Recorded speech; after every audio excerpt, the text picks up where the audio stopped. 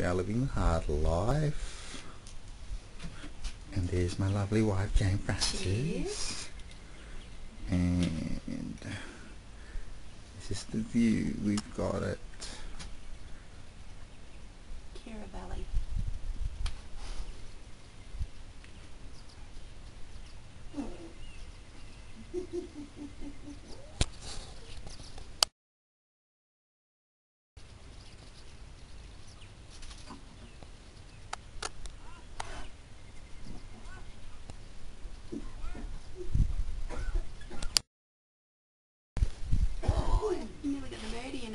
Mhm.